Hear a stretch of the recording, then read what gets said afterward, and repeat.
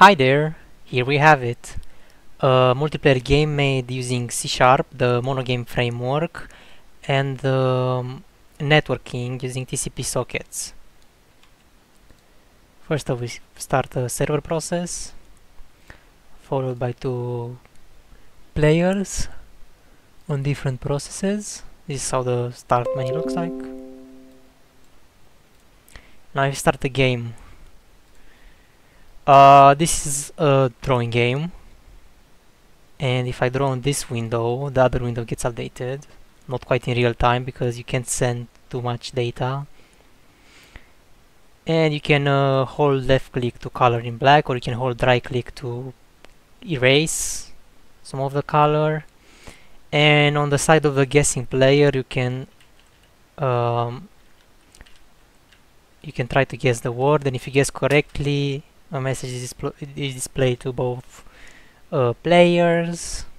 It might seem like a very simple game, but there is a lot of stuff going on behind, so I'm gonna go sh and show you some of the code.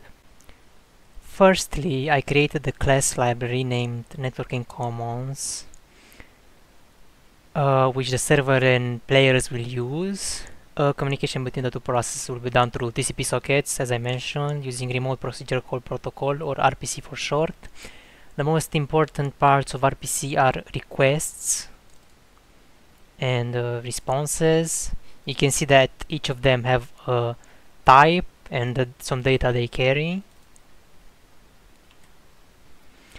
Uh, now the next essential part is the service proxy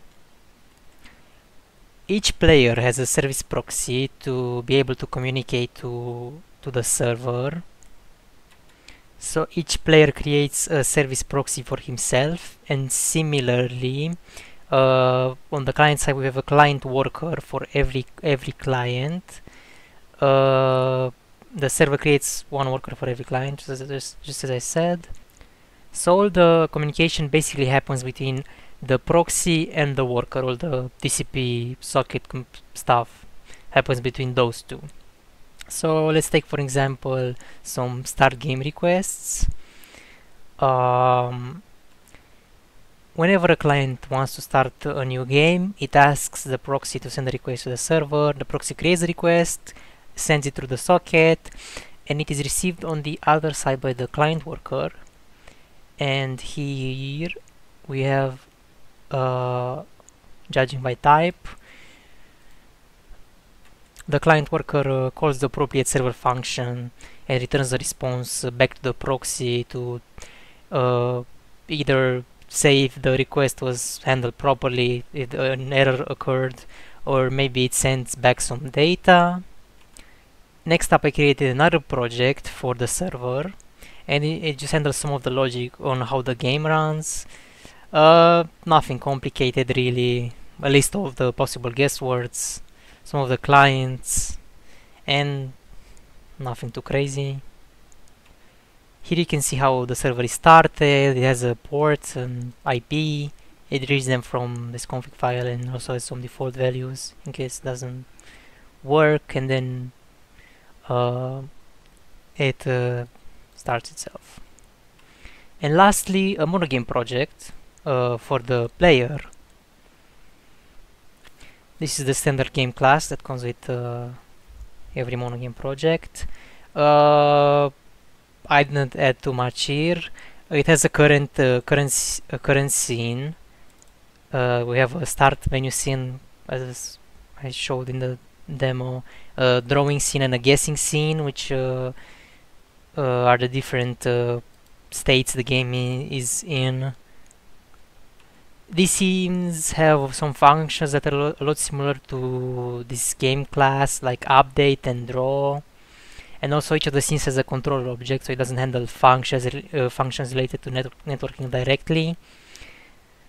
Uh, for example, in the start menu scene, we also have a draw function that draws. Uh, this is basically the buttons. It just draws rectangles and text and also an update uh, an update function that uh, checks if uh, any of the buttons was clicked and handles the corresponding logic. Uh, these uh, functions get called every frame here in the game menu. Uh, it calls the functions of the current scene.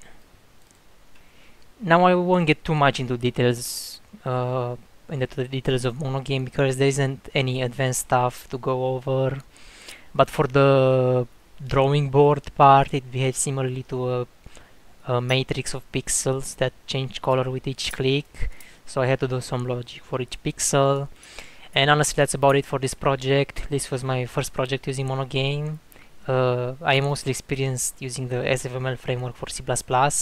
I have uh, some other videos on my channel, mostly about SFML. Uh, there were a lot of different differences between uh, these these frameworks. Monogame had some uh, good points, but also some bad points, and there are some uh, problems that I don't know how to fix yet. So I'm not really uh, fully content with how the game turned out. Uh, and also you could you, you can see me run the two players on the same PC. Unfortunately, I had some problems running a player on or running the players on different uh, PCs on my local network. I think it's mostly problems caused by firewall and router settings. Even though I didn't get to test it, I think it should it should be able to work the, on different PCs on different networks uh, you just needs a server running and that's about it. If you want to see something else let me know. And thank you for watching